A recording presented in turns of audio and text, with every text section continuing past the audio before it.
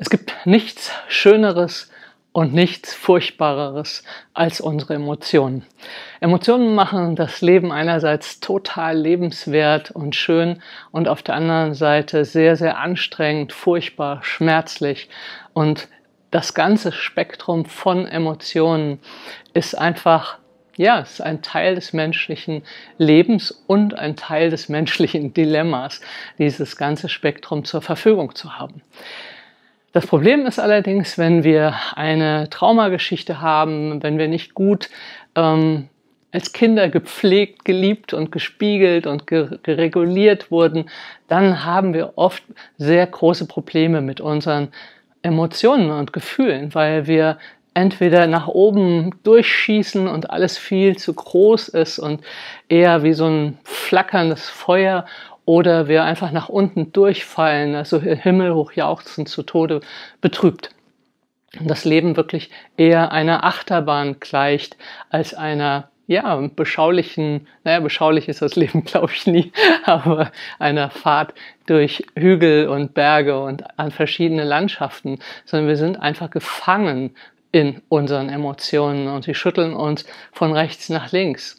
Und deswegen ist Selbstregulation hat als zentrales Thema die Regulation von Emotionen und ist deswegen so, so wichtig.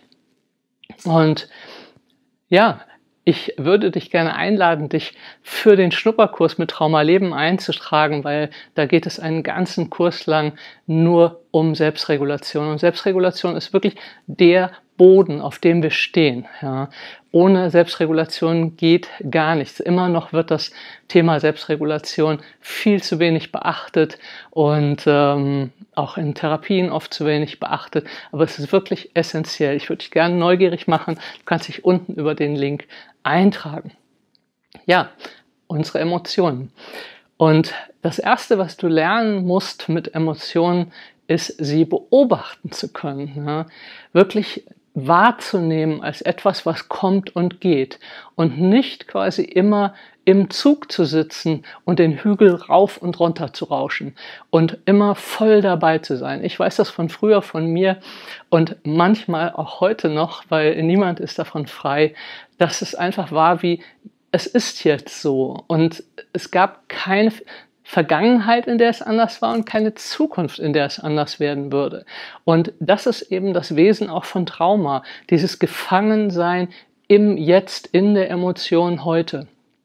Und je mehr ich gelernt habe zu beobachten, was in mir passiert, zu beobachten, dass ich Gefühle habe und die in mir erzeugt werden durch das, was ich denke, durch das, was ich interpretiere in der Welt, desto mehr konnte ich Gefühle modulieren. Und das andere, ganz, ganz Wichtige, ist, Gefühle im Körper spüren zu können.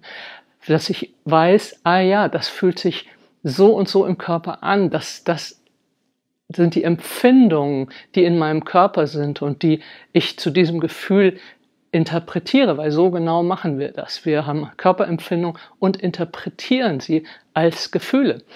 Und wenn du das lernst, dann kannst du immer mehr Gefühle im Körper halten, weil das Problem mit einer Geschichte, die wehgetan hat, ist, dass wir Angst haben vor Gefühlen und sie dann quasi eng machen. Wir atmen nicht mehr richtig, wir versuchen die zu halten und gerade unangenehme Gefühle und dann explodieren sie erst richtig. Das heißt, je mehr ich sie im Körper sein lassen kann, desto ruhiger werden Gefühle.